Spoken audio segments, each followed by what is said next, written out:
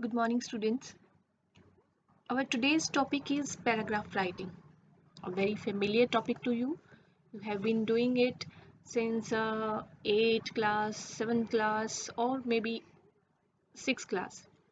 But there is always a confusion regarding paragraph writing because whenever this topic is taken up in the class, students come up with questions like uh, how to write a good paragraph, how to begin with, how to conclude a paragraph, how long should a paragraph be, how to connect the sentences, what are the qualities of a good paragraph, and so on. So I hope this video and subsequent videos on paragraph writing are going to answer all these questions and uh, I hope it would make easier for you to write a paragraph on any topic.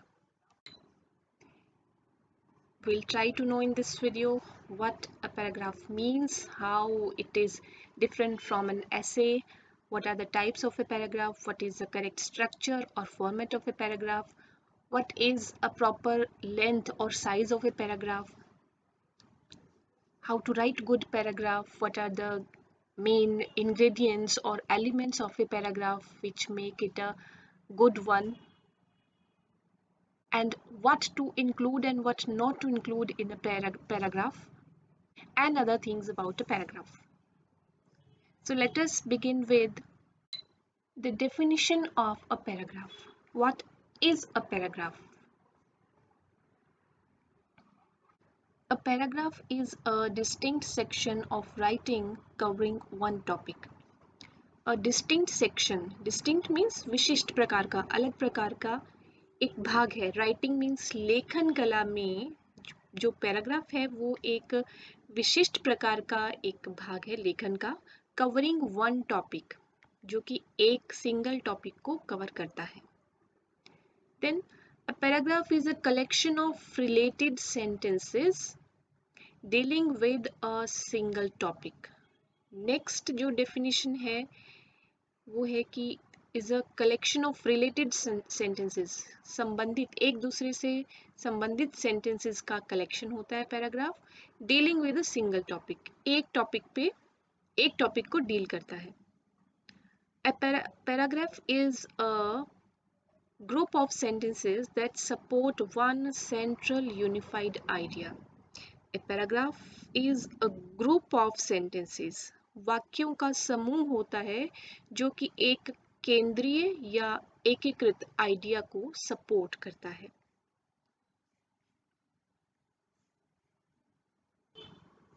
A paragraph is a self contained unit of a discourse in writing dealing with a particular point और idea is a self contained unit आत्मनिहित unit होती है ये किसी discourse की, किसी discussion की, किसी भाषण या लेख में कोई चर्चा होती है, उसमें ये एक सेल्फ कंटेन्ड अपने आप में संपूर्ण, एक कंप्लीट यूनिट माना जाता है इसे। Dealing with a particular point और आइडिया और ये भी किसी विशिष्ट पॉइंट या आइडिया को ही डील करता है, उसी से ही संबंधित बात प्रस्तुत करता है। Then a paragraph contains a group of sentences intertwined with each other to discuss or debate or explain a central idea. यानी पैराग्राफ एक वाक्यों का समूह होता है और वो वाक्य कैसे होते हैं इंटरट्वाइंड मीन्स क्लोजली कनेक्टेड गुंथे हुए होते हैं परस्पर टू डिस्कस या तो और ये एक दूसरे से closely connected group of sentences हैं। ये क्या करते हैं? किसी सेंट्रल आइडिया को, किसी मुख्य या केंद्रीय आइडिया को या बात को या तो उसके ऊपर डिस्कस करते हैं, चर्चा करते हैं या डिबेट करते हैं वाद विवाद होता है उसमें या उसे एक्सप्लेन करते हैं किसी एक सेंट्रल आइडिया को। और सेंटेंसेस क्या होते हैं? इंटरट्वाइंड एक दूसरे से जुड़े हुए होते हैं, एक दूसरे के साथ में क्लोजली कनेक्टेड होते हैं, गुंथे होते हैं। Then a paragraph is a series of sentences that are organise and coherent and all are related to a single topic a series of sentences श्रृंखला होती है। पैराग्राफ क्या है? वाक्यों की एक श्रृंखला। दैट आर ऑर्गेनाइज और ये वाक्य कैसे होने चाहिए?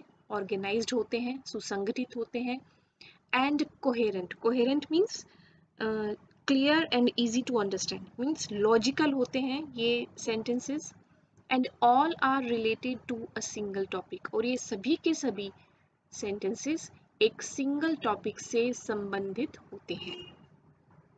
All these definitions or the sentences about paragraph bring out some important things that have to be taken care of while writing a paragraph. Let us try to point out them. First में कहा गया है a paragraph is a distinct section of writing covering one topic. सबसे पहले ये एक ही topic की बात कर एक ही टॉपिक पर बात करता है पैराग्राफ एक सिंगल टॉपिक होगा उसी के ऊपर बात होती है second a paragraph is a collection of ये collection of related sentences means इसमें मोर देन वन सेंटेंसेस हुए a collection of related sentence और सेंटेंस भी क्या कैसे होने चाहिए रिलेटेड एक दूसरे से संबंधित होने चाहिए उनका कलेक्शन और सिंगल टॉपिक सेम चीज़ रिपीट है A paragraph is a group of sentences. Means group of sentence होगा एक सिंगल सेंटेंस को हम पैराग्राफ uh, नहीं मान सकते that support one central unified idea और एक किसी मुख्य या केंद्रीय या किसी एक सिंगल आइडिया को सारे के सारे जो सेंटेंस है, वो उसको सपोर्ट करेंगे। Then a paragraph is a self contained unit ये पैराग्राफ अपने आप में कंप्लीट होना चाहिए, संपूर्ण होना चाहिए। And dealing with a particular point और एन और एन आइडिया और एक ही किसी विशेष पॉइंट या आइडिया को डिस्कस करेगा paragraph a paragraph contains group of sentences intertwined पहले हमने किया रिलेटेड सेंटेंसेस होंगे, ये इंटरट्वाइंड होंगे, एक दूसरे से क्लोजली कनेक्टेड होंगे. और ये जो कनेक्टेड क्लोजली कनेक्टेड सेंटेंस होंगे they will either discuss discussion करेंगे, चर्चा करेंगे या डिबेट वाद विवाद पक्ष विपक्ष में अपनी बात करेंगे या किसी चीज़ को एक्सप्लेन करेंगे, व्याख्या करेंगे और किसकी? अ सेंट्रल आइडिया वही, एक सिंगल सेंट्रल आइडिया के ऊपर या तो डिस्कशन होगी डिबेट होगी या उसकी एक्सप्लेनेशन दी जाएगी. Then a paragraph is a series of sentences. Again means more than one sentences उसकी सीरीज़ होगी, श्रृंखला होगी एंड देट आर ऑर्गेनाइज्ड ये सेंटेंसेस ऑर्गेनाइज्ड होने चाहिए एंड कोहेरेंट सुस्पष्ट, तार्किक होंगे क्लियरली एक्सप्रेस करने वाले होंगे and all are related to single topic और सभी के सभी एक ही सिंगल टॉपिक से संबंधित होंगे। So these are the key points key words that we have derive from the sentences we have recently done कि एक पैराग्राफ में ये सब चीज़ें हमें मिलेंगी या होनी चाहिए। कवरिंग वन टॉपिक केवल एक ही टॉपिक पर बात करेगा। एक कलेक्शन ऑफ़ रिलेटेड और intertwined sentences collection of sentences हो, होगा और सारे के सेंटेंस सारे के सारे सेंटेंसेस एक दूसरे से रिलेटेड होंगे क्लोजली कनेक्टेड होंगे। Sentences support one central unified idea और किसी एक ही आइडिया को सारे के सारे सेंटेंसेस सपोर्ट करेंगे। सेल्फ कंटेन्ड एंड कंप्लीट और ये अपने आप में संपूर्ण होगा, आत्मनिहित होगा। जो ये बात रखना चाहता है पैराग्राफ, उस ग्रुप ऑफ़ सेंटेंसेस में कंप्लीट करेगा। देन ऑर्गेनाइज्ड एंड कोहेरेंट ये एक ऑर्गेनाइज्ड पीस ऑफ़ राइटिंग होगा। मतलब लेखन में वाक्यों का संगठित रूप से जुड़े हुए होना एक दूसरे से वो बहुत इंपॉर्टेंट है। और पैराग्राफ की एक बहुत ही विशिष्ट बात है कि ये ऑर्गेनाइज्ड तरीके से लिखा जाता है।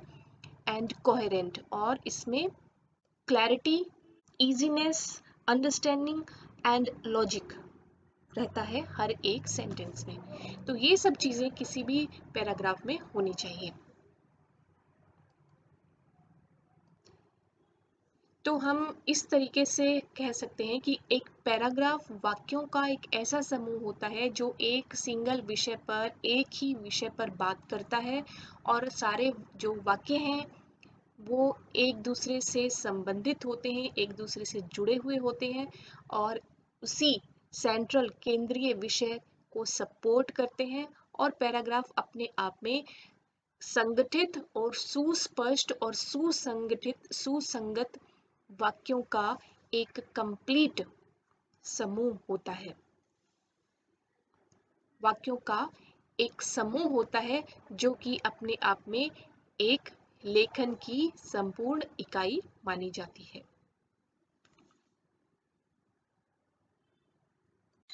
Us move ahead and uh, discuss the size of an ideal paragraph. किसी आइडियल पैराग्राफ का साइज़ क्या होना चाहिए? उसकी लेंथ क्या होनी चाहिए? कितने सेंटेंसेस होने चाहिए? वर्ड्स कितने होने चाहिए किसी पैराग्राफ में?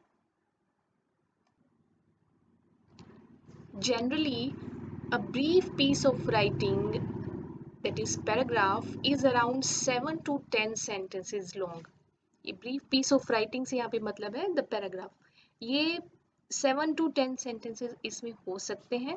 और अगर वर्ड्स की बात करें तो 150 से 200 वर्ड्स तक हम एक आइडियल uh, पैराग्राफ मानते हैं। But this is not a hard and fast rule ये ज़रूरी नहीं है कि सेवन टू टेन सेंटेंसेस में ही अपनी बात कंप्लीट करनी है। कुछ कम हो सकता है, कुछ ज़्यादा हो सकता है। और इसी प्रकार से वर्ड काउंट भी उतना इंपॉर्टेंट नहीं है। The main thing is the unity of the thought जो बात हम पैराग्राफ में कन्वे करना चाह रहे हैं, वो उन सेंटेंसेस में या उन वर्ड्स में ऑर्गेनाइज्ड तरीके से कोहेरेंटली हमें कन्वे कर देनी होती है। तो this is the ideal length ये हमें सिर्फ़ एक सजेशन है कि सेवन टू टेन सेंटेंसेस में अपनी बात कंप्लीट करनी चाहिए when we are writing a paragraph and it is important to maintain the quality and flow of the paragraph paragraph की क्वालिटी एंड फ्लो हमें मेंटेन करके रखना है. Word count is secondary let's come to the types of paragraphs. Generally there are four types of paragraphs descriptive paragraph, narrative paragraph, expository paragraph, and persuasive paragraph. And uh, because there are four types of paragraphs, the paragraph can be used to describe or explain an endless variety of things or subjects. Descriptive means varnanatmak, narrative kathatmak, story like means expository, व्याख्यात्मक, persuasive, that is convincing. Means किसी को राज़ी करना, समझाना। इन सब के अलावा एक लिटरेरी पैराग्राफ भी होता है which is written about literature they are part of a genre known as literary criticism इसमें the writer of literary paragraph chooses a specific aspect of the text to examine and then focus on that aspect. But uh, from examination point of view, हमें descriptive narrative expository या persuasive जो paragraphs हैं उन्हीं में से कोई एक paragraph लिखना होता है and that depends on the topic the subject of the paragraph let us learn more about the types of paragraphs Descriptive paragraphs give vivid descriptions of one subject. Descriptive paragraphs किसी एक particular subject का वर्णन देते हैं and it में भी ये जो सब्जेक्ट रहेगा, ये पर्सन हो सकता है, कि कोई व्यक्ति, कोई स्थान, कोई वस्तु एनिमल थीम या फिर आइडिया का डिटेल वर्णन इसमें होता है and the use of five senses is there how something feel smell sound taste और लुक्स तो ये एक विविध डिस्क्रिप्शन होता है, वर्णन होता है clear narrative paragraphs tell about a scene और इवेंट किसी दृश्य या घटना के बारे में बताते हैं and there is a sequence of action घटना क्रम का सीक्वेंस उसमें रहता है मतलब कोई एक्शन किस क्रम से घटित हुआ, उसके बारे में नैरेटिव पैराग्राफ्स हमें बताते हैं। मीन्स नैरेटिव पैराग्राफ कथा के रूप में कहानी के रूप में किसी सीन या किसी घटना के बारे में बताते हैं। क्रमानुसार एक्शंस उसमें रहते हैं सेंटेंसेस में। For example how I spend my last weekend तो यहाँ पर घटनाओं को क्रमानुसार उसमें बताते हुए स्टोरी की तरह से उसे बताते जाते हैं।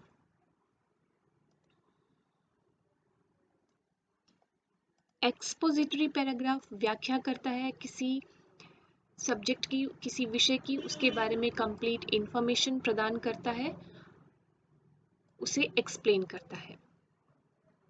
परसुएसिव पैराग्राफ मींस अपने अपने ओपिनियन के थ्रू किसी चीज़ को समझाने की कोशिश करता है। It tries to convince the reader reader को अपनी बात मनाने की कोशिश रहती है परसुएसिव पैराग्राफ में and the writer is actually giving his own opinion इसमें अपने विचार व्यक्त करता है राइटर किसी पर्टिकुलर सब्जेक्ट पर या टॉपिक पर।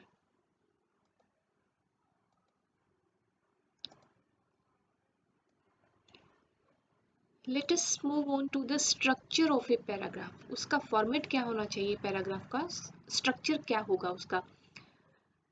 संरचना किस प्रकार से होती है एक पैराग्राफ की? पैराग्राफ की जो साइज़ है या लेंथ है, उसके बारे में हमने किया कि सेवन टू टेन सेंटेंसेस होने चाहिए। तो वो सेंटेंसेस कौन से होते हैं? किस प्रकार से उन्हें पैराग्राफ में रखा जाता है? सीक्वेंस किस प्रकार से बनाया जाता है? This point comes under structure और फॉर्मेट ऑफ़ ए पैराग्राफ सबसे पहले टॉपिक सेंटेंस और opening sentence the very first sentence of a paragraph is called opening sentence और द टॉपिक सेंटेंस और इसका काम क्या होता है? It gives the introduction of the central subject जिस सब्जेक्ट जिस सब्जेक्ट या जिस टॉपिक के ऊपर हम बात करने वाले हैं पैराग्राफ में सेवन टू टेन सेंटेंसेस जिस टॉपिक के बारे में होंगे, उसके बारे में ये जो ओपनिंग सेंटेंस है, या टॉपिक सेंटेंस है, वो हमें इंट्रोडक्शन देता है, उसकी इंफॉर्मेशन देता है and it deals with the main idea second आते हैं supporting sentences they are also known as developers जो कि मेन आइडिया को डेवलप करते हैं, उसके बारे में डिटेल देते हैं। Five six sentences supporting sentences रहते हैं। जो मेन आइडिया को सपोर्ट करेंगे, उस पैराग्राफ को डिवेलप करेंगे। देन द कंक्लूडिंग सेंटेंस या जिसे क्लोजिंग सेंटेंस भी बोलते हैं the last sentence of the paragraph and it is also known as terminator it repeats the main idea and provides the ending it repeats the main idea restates the main idea the topic different words में उस main topic की बात करता है, और ending provide करता है किसी पैराग्राफ को। और इस सेंटेंस के साथ में हमें समझ में आ जाता है कि पैराग्राफ यहाँ पर कंप्लीट हो गया है। In our next video will talk more about the structure and format of paragraph let us come to the elements of a good paragraph ऐसी क्या चीज़ें हैं, ऐसे कौन से तत्व हैं जो किसी पैराग्राफ को एक अच्छा पैराग्राफ बनाते हैं? जो रीडर को बाँध कर रखते हैं कि बिगनिंग से लेकर एंड तक उस पैराग्राफ को पढ़ा जाए। These are four elements unity order coherence and completeness unity अर्थात एकता होनी चाहिए। एक ही सिंगल टॉपिक पर बात होनी चाहिए सभी सेंटेंसेस की। ऑर्डर एक प्रॉपर क्रम होना चाहिए। व्यवस्थित रूप से सारे सेंटेंसेस एक दूसरे से जुड़े हुए होने चाहिए। कोहेरेंस एक लॉजिकल फ्लो होना चाहिए सभी सेंटेंसेस में। क्लियर होने चाहिए। एंड कंप्लीटनेस और एक संपूर्ण होने का भाव उसमें नज़र आना चाहिए। उसे पढ़ने के बाद में अधूरापन नहीं लगे।